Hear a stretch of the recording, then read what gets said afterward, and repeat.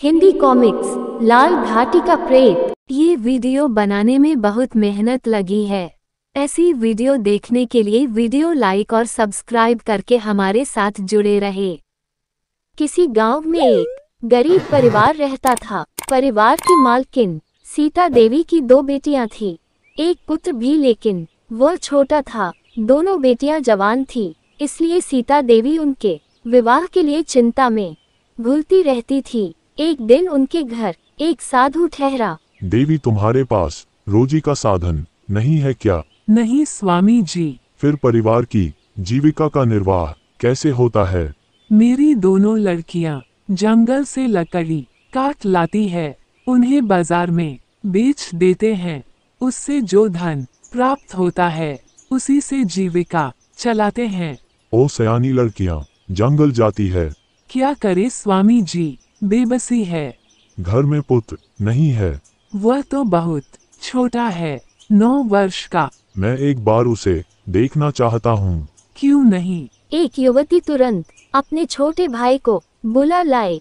यही है स्वामी जी। साधु ने उसके हाथ की रेखाएँ देखने के बाद कहा राजयोग है इसके हाथ में एक दिन ये तुम्हारा नाम रोशन करेगा। सुबह साधु आशीर्वाद देकर चला गया तब बेटी कमला जंगल से लकड़ी काट लाओ फिर बेचकर घर का सामान लाना आज तो आटा भी नहीं है। कमला जंगल की ओर चल दी। आज खूब सारी लकड़ियाँ काट कर ले जाऊँगी ताकि दो चार दिन का काम चल सके। कुछ कदम आगे चलने के बाद अरे इस रास्ते पर तो मैं अक्सर आती हूँ। ये सूखा पेड़ कहाँ से आ गया? इसकी लकड़ियाँ भी अच्छी है, बाज़ार में जाते ही बिक जाएगी। दूसरे ही क्षण कमला ने जैसे ही कुल्हाड़ी को चलाया, वैसे ही उसका शरीर कांपा, उसे लगा जैसे वह हवा में उड़ रही हो।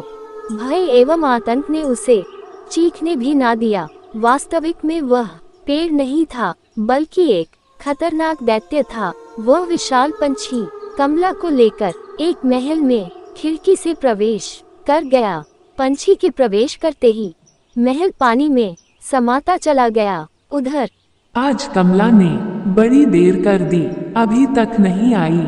दीदी इतनी देर कभी नहीं करती थी। सीता देवी परेशान होकर गाँव वालों के पास पहुँची। भैया मेरी बेटी कमला जंगल से लौटी नहीं। जंगल में कोई हिंसक जानवर भी नहीं फिर कहाँ गई होगी? नदी में। वह तैरना जानती है। दस बारह ग्रामीण लाठियाँ लेकर जंगल में गए और निराश होकर सीता के सामने पहुँचे।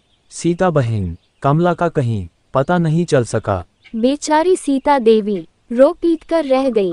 हाय मेरी बेटी। धीरे धीरे दिन बीतते गए तब भी कमला का कुछ पता नहीं चला तो एक दिन बिमला बोली माँ अब मैं लकड़ी काटने जा रही हूँ। हम कब तक फाके करते रहेंगे? हाँ बेटी, लेकिन तू रास्ते में कभी अटकना नहीं। तुम बेफिक्र रहो माँ। विमला ने जंगल से ढेर सी लकड़ियाँ काटी और घर को चल दी। आज लकड़ियाँ खूब सारी मिली है। अच्छे पैसे मिल जाएँगे। कुछ दूर चलने के बाद वो थिथक गई। कितना प्यारा हिरन का बच्चा है। क्यों ना मैं इसे पकड़ कर घर ले चलूँ? विमला ने बच्चा गोद में उठा लिया। रेशम की तरह मुलायम है। उसी क्षण हुई माँ और बिमला चीख कर बेहोश हो गई। वह प्रेत उसे पीठ पर लाद कर आकाश की ओर उड़ गया। उसने एक घाटी में कदम रखा। हाँ हाँ हाँ हाँ हाँ यह मेरा राज्य है। यहाँ कोई मानव कदम नहीं रख सकता। मैंने अस्सी लड़कियाँ कैद कर रखी है। अब मैं यहाँ एक महल बनाकर राज्य करूँगा। मेरी सैकड़ों रानियाँ। होगी, हा हा हा हा हा। तभी प्रेत ने हवा में हाथ उठाया दूसरे क्षण। घाटी के बीच एक विशाल महल बनकर तैयार हो गया और प्रेत उस महल के मुख्य द्वार में प्रवेश कर गया। उधर बिमला अभी तक नहीं लौटी। कहीं कमला की तरह वह भी गुम न हो गई हो। एक स्थान पर लकड़ी का एक गट्ठर देखकर अरे ये तो मेरी बिमला की ही लकड़ियाँ है। यही से कहीं गुम हो गई है। अब क्या होगा? माँ बेचारी रोती पीटती घर को चल दी। बेचारी दोनों बेटियाँ ना जाने कहाँ गुम हो गई है। और उसी गम में सीता देवी चल बसी। बेचारा मदन चंद अनाथ हो गया। माँ आज तेरा बेटा सौगंध खाता है जिस कारण तेरी मौत हुई है मैं उसका पता लगा कर ही रहूँगा। माँ का अंतिम संस्कार करके वह गाँव से शहर की ओर चल दिया। अब तभी गाँव में वापस आऊँगा जब अपनी बहनों का पता लगा लूँगा। वह राज दरबार में पहुँच गया। बाहरी द्वार पर ही उसने एक दरबारी ऐलान सुना। नगर वासियों एक ज़रूरी ऐलान सुनो। राजा पवन सिंह ने घोषणा की है कि जो उनकी बेटी का पता लगाएगा उसे इनाम में आधी जागीर दी जाएगी और राजकुमारी से विवाह किया जाएगा। मुझे ये बीड़ा उठाना चाहिए। मैं वैसे भी अनाथ ही हूँ। भाई साहब आखिर राजकुमारी किस तरह है? गायब हुई है। सवाल अच्छा है तुम्हारा लेकिन ये बात महाराज ही बता सकते हैं। मैं महाराज से कैसे मिल सकता हूँ? क्या तुम राजकुमारी का पता लगाने जाओगे? यह अभी बच्चा है। वैसे लड़का साहसी है। ही ही ही ही ही ही बड़े बड़े योद्धा तो बीड़ा नहीं उठा रहे हैं। मदन चंद राज दरबारियों के साथ राज दरबार में जा पहुँचा। महाराज ये कुछ पूछना चाहता है। क्या पूछना चाहते हो नौजवान? महाराज राजकुमारी के बारे में कोई जानकारी नहीं है कि वह कहाँ है या उनका अपहरण किस तरह हुआ। हाँ है वह लाल घाटी में है। एक दिन वहाँ का एक प्रेत उसे उठा ले गया है। वह प्रेत लाल घाटी में रहता है। हाँ। ये लाल घाटी किस दिशा में पड़ती है? ये बहुत खतरनाक काम है। तुम अभी बहुत कम उम्र के हो। महाराज जब इरादा पक्का हो तो उम्र का कोई महत्व ही नहीं रह जाता है। नवयुवक तुम तो वाकई होनहार मालूम पड़ते हो। महाराज राजकुमारी का पता मैं लगाऊँगा मुझे कुछ समय की मोहलत चाहिए। और उसने अपनी दोनों बहनों के गायब होने की सारी बातें महाराज पवन सिंह को बता दी। लेकिन नौजवान हमारे जासूसों ने पता लगाया है कि वह प्रेत जादूगर भी है। ये नौजवान अवश्य ही हमारी बेटी का पता लगा लेगा। तुम्हारे पास कोई साधन भी तो नहीं है। उसकी फ़िक्र आप ना करें। साधन अपने आप बनते हैं महाराज। तुम ठीक कहते हो। बस मुझे थोड़ा सा राह खर्च चाहिए। महामंत्री इस नौजवान को पचास मोहरें दे दी जाएँ। तुरंत उसे पचास मोहरें मिल गई। अब सुनो लाल घाटी दक्षिण दिशा में है। घाटी के चारों तरफ़ आग की ऊँची ऊँची लपटें उठती रहती है। आग की लपटें। हाँ इसके साथ साथ अगर तुम राजकुमारी को साथ लेकर नहीं लौटे तो तुम्हें सजा भुगतनी होगी। मुझे स्वीकार है। और वह राज दरबार से बाहर आ गया। उस प्रेत से कैसे निपटूँगा? वह आगे बढ़ता रहा। शाम होती तो सो जाता सुबह होती तो फिर चल देता था। रास्ते में कोई शहर पड़ता तो सूखे मेवे साथ ले लेता था। एक साल के लंबे सफ़र के बाद वह काला वन पहुँच गया। काला वन में अनेक योगी अपनी अपनी साधना में लीन थे। एक योगी को अपनी कुटिया के सामने साधना करते देखकर वह वहीं पास में बैठ गया। जब इनकी साधना टूटेगी तब कुछ दिन के विश्राम के लिए आग्रह करूँगा। सात दिनों बाद उस योगी की तंद्रा टूटी तब। अरे वत्स तुम यहाँ कब आए? यह आश्रम इतना स्वच्छ कैसे हो गया? सुबह शाम में ही यहाँ की सफ़ाई किया करता हूँ। लेकिन तुम इन जंगलों में क्यों भटक रहे हो? मुनिव विपदा मनुष्य को बहुत परेशान कर देती है। मैं अपनी बहनों के साथ साथ राजकुमारी फूल कुंवर की खोज में निकला हूँ। सुना है राजकुमारी लाल घाटी के प्रेत की कैद में है। मुझे आशंका है कि मेरी बहिनें भी वही है। ओह! योगी ने एक क्षण को पल के मूंद कर ध्यान किया। फिर आँखें खोलकर बोले वत्स वह प्रेत तो बहुत ही निर्दय है साथ ही बहुत बड़ा जादूगर है तुम उससे कैसे निपट सकोगे? मुनिवा मैं तो आपकी शरणागत हूँ आप ही मेरे रक्षक हैं। मैं तुम्हें उस जादूगर पर विजय पाने का उपाय तो बता सकता हूँ। बताए मुनिवा अगर तुम महाकाल से तीन चीज़ें प्राप्त कर लो। महाकाल कहाँ रहता है और वह तीन चीज़ें कौन सी हैं? महाकाल पानी के अंदर एक महल में रहता है। उसके हाथ में एक हीरे की अंगूठी है। कमर में तलवार और एक भूगोल। उसे भूगोल में दुनिया के नक्शे के साथ लोग भी नज़र आते हैं। अच्छा लेकिन मैं महाकाल तक कैसे पहुँच सकूँगा? इसका सब प्रबंध हो जाएगा। और फिर योगी ने मदन चंद को एक पत्थर का टुकड़ा देते हुए कहा इस पत्थर का ये गुण है कि तुम्हें पानी के प्रभाव से बचाएगा। तुम इसे मुँह में रखकर पानी में सुगमता से तैर सकते हो। आपने कहा कि वह पानी के अंदर महल में रहता है। उसके लिए तुम्हें एक मंत्र जाप करना होगा। मंत्र जाप के प्रभाव से जल सूख जाएगा तब तुम जल में प्रवेश कर सकते हो। मदन चंद ने मंत्र जाप के लिए उस योगी से शिक्षा ली और फिर लाल घाटी की ओर प्रस्थान किया। जाते समय योगी ने उसे एक हवाई घोड़ा भी दे दिया था। अब मुझे सवार हो जाना चाहिए। वाह क्या सुहाना सफ़र है। महात्मा जी ने बताया था मीनार के पास जो पानी का विशाल सरोवर है वही महाकाल का महल है वही मीनार है। मीनार के पास ही उसने अपना घोड़ा उतार लिया। अब मुझे वह पत्थर मुँह में रखकर छलांग लगा देनी चाहिए। दूसरे ही क्षण कितनी सुंदर मछलियाँ हैं। तभी उसे वह महल दिखाई दिया। वाह कितना अनमोल महल है। अब मुझे बाहर जाकर मंत्र जाप करना चाहिए। वह बाहर आकर मंत्र जाप करने लगा। ओम जलाशय जलम कुरु कुरु स्वाहा। तुरंत जल से बाहर महल नज़र आने लगा। ओम। कुछ देर बाद ओम। आधा महल नज़र आने लगा। ओम। और फिर देखते ही देखते सारा महल साफ़ नज़र आने लगा। अगले ही क्षण वह महल के सामने जा पहुँचा। मुख्य द्वार स्वयं खुल गया। द्वार पर मेरा स्वागत करने वाले ये लोग कौन है? अवश्य ही ये जादुई महल के जादुई राक्षस होंगे। अगला द्वार भी स्वयं ही खुल गया। ये दैत्याकार पहलवान कहीं मुझे कोई नुकसान तो नहीं पहुंचाएँगे। उसके गद्दे पर बैठते ही ये स्त्रियाँ तो गंधर्व कन्याएँ लगती हैं। इनकी सुंदरता तो अप्सराओं को भी लजाती है। मदन चंद ने भोजन किया।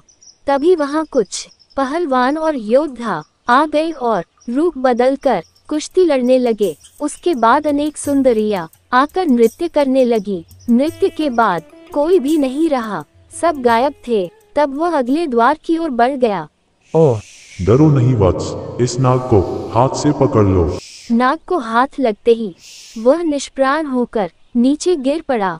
आहा तभी केवड़ों के पीछे से एक भयंकर आवाज़ सुनाई पड़ी। कौन हो तुम? मेरा नाम मदन चंद है। मैं पवानगढ़ का निवासी हूँ। कहते ही मदन चंद ने किवाड़ खोल दिया। किवाड़ खुलते ही अपनी गर्दन झुकाओ। वत्स तुरंत गर्दन झुका दो।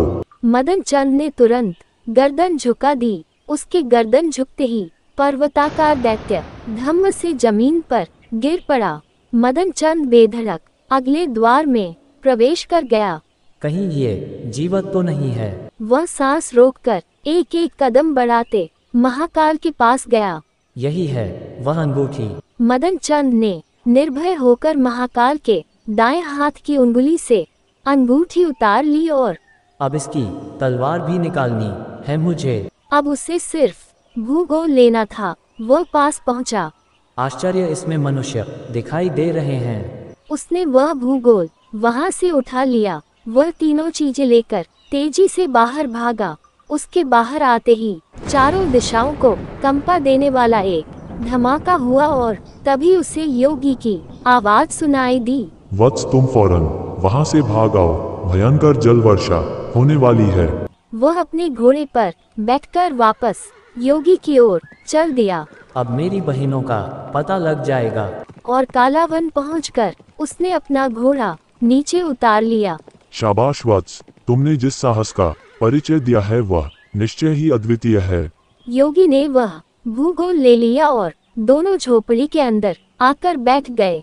भूगोल मदन चंद की बहने जहाँ हो उनका दृश्य दिखाओ। तुरंत भूगोल में धुआँ उभरा और चित्र नज़र आने लगा। प्रिय तुम आज उदास क्यों हो? आज माँ की याद आ गई है। मेरा भाई भी ना जाने कैसा होगा। मैं अंतिम बार अमावस्या की रात को आऊँगा अगर उस दिन तुम मेरी रानी नहीं बनी तो जबरन तुम्हें रानी बना लूँगा। देखा वत्स तुम्हारी एक बहन शादी करके सुखी है दूसरी मुसीबत में है। हाँ महात्मन मैं आज रात ही लाल घाटी के लिए प्रस्थान करूँगा। समय अच्छा है तुम निर्भय होकर लाल घाटी में कूद जाना जब तक ये तलवार और अंगूठी तुम्हारे पास है वह प्रेत तुम्हें परास्त नहीं कर सकेगा। इस भूगोल के माध्यम से मैं बराबर तुम पर नज़र रखूँगा। जी। जब भी तुम पर विपदा आएगी मैं तुम्हारा साथ दूँगा। अगले दिन सुबह वह हवाई घोड़ा लेकर लाल घाटी के लिए चल दिया। बहुत लंबी उड़ान के बाद ये रही लाल घाटी पहाड़ के चारों ओर गोलाकार आग की लपटें उठ रही है। उसने अपना घोड़ा लाल घाटी में उतार दिया। घोड़ा एक पेड़ से बाँध वह महल की ओर बढ़ गया। अब असली जंग शुरू होगी। ठहरो कौन है? मदन चंद मेरा रास्ता छोड़ दो वरना बेमौत मारे जाओगे। तभी एक झटके से दोनों ओर से उन पहरेदारों ने उस पर हमला कर दिया। मार दो। दोनों ने पूरी ताकत से भाले आगे बढ़ाए। आ मर गया। मुझे चले थे मारने। अगले द्वार पर पहुँचते ही उफ ले दुष्ट। अब मुझे आगे बढ़ना चाहिए। उसने एक दरवाजे पर लात मारी। ओ शायद मेरी बहन बिमला भी इन्हीं में होगी। उसने सभी दरवाजों में झाँक झाँक कर देखा लेकिन बिमला कहीं दिखाई नहीं दी। बिमला कहाँ है? क्या इसको जगा कर पूछूँ? तभी उसे एक दूसरा दरवाज़ा नज़र आया वह उसी ओर बढ़ गया। इसी में होगी शायद। हाथ रखते ही दरवाज़ा खुल गया। बिमला को पहचानते ही उसने दरवाज़ा अंदर से बंद कर लिया और बिमला के पास आकर बोला बिमला बहन। बिमला चौंक कर उठ बैठी थी और फटी फटी आँखों से देखने लगी अरे मदन भैया तुम यहाँ। हाँ बहन। माँ कैसी है? कमला दीदी मिली तो नहीं होगी। माँ तुम लोगों के गम में चल बसी कमला दीदी का भी पता अभी तक नहीं चल सका। कमला दीदी जल महल में है उन्होंने एक जादूगर से शादी कर ली है लेकिन लेकिन क्या? वह लोग भी इस लाल घाटी के प्रेत के जाल में हैं। कमला दीदी के पति इस प्रेत से हार गए हैं। तभी से उन्हें इस कमीने ने कैद कर रखा है। यह इतनी लड़कियाँ कहाँ से लाई गई है?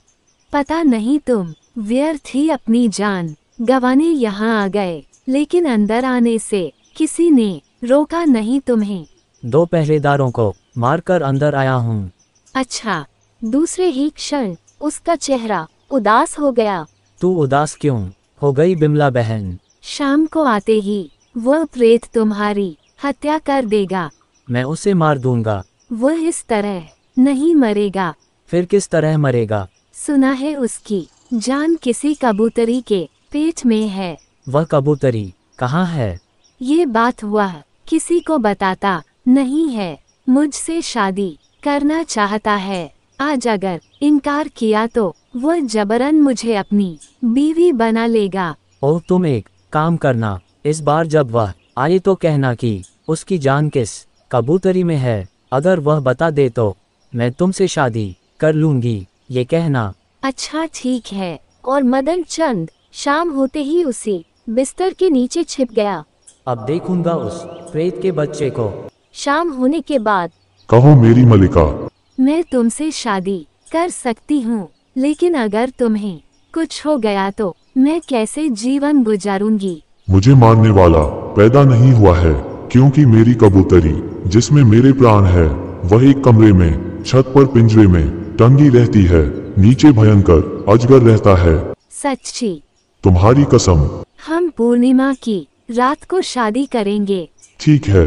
प्रेत जाने के बाद बाहर आ जाओ भैया। गीदड़ की मौत आ ही गई। उस रात उसने उस कमरे का पता लगाया जिसमें वह कबूतरी थी। तो यहाँ कमरा है। मुझे अभी इस कबूतरी को हासिल कर लेना चाहिए। उफ ले कमीने। तभी अजगर धड़ाम की आवाज़ के साथ एक राक्षस बनकर बाहर की ओर उड़ गया। पिंजरा हाथ में लेकर मदन चंद जैसे ही बाहर आया वह प्रेत गरजता हुआ आधम का ठहर दुष्ट तू मुझसे नहीं बच सकता। मुझे इस कबूतरी की गर्दन मरोड़ देनी चाहिए। इसे उठा लो। और बिमला ने उस कबूतरी की गर्दन धड़ से अलग कर दी। आह मर गया। अगले ही क्षण भयंकर गर्जना के साथ महल आकाश की ओर उड़ता चला गया। और लाल घाटी का प्रेत खत्म हो गया। चारों ओर पहाड़ों की आग भी शांत हो गई। भैया। दीदी तुम लोगों में से पवनगढ़ की फुल कुंवर कौन है? मैं हूँ और फिर उसने रेशमी साड़ियों से एक लंबी रस्सी बनाई और हर लड़की ने एक दूसरे का हाथ पैर पकड़ लिया। फिर हवाई घोड़े पर बैठी बिमला ने वह रस्सी घोड़े की गर्दन से बाँध दी और घोड़ा और चला कमला के सामने पहुंचकर अरे मदन भैया तुम। फिर आओ हम पैदल ही चलेंगे। मदन चंद ने सारी बातें बता दी। रास्ते में मदन चंद ने घोड़ा योगी को वापस कर दिया। तब योगी ने उन्हें अपनी योग माया से एक उड़न खटोला तैयार करके दिया। सभी उसमें बैठकर पवनगढ़ आ गए। राजा पवन सिंह अपनी बेटी को पाकर खुश हो गए और मदन चंद से फूल कुंवर की शादी हो गई। मदन चंद अपनी बहनों और बहनोई के साथ पवनगढ़ में ही रहने लगा। उसकी ज़िंदगी में सुख ही सुख था। समाप्त।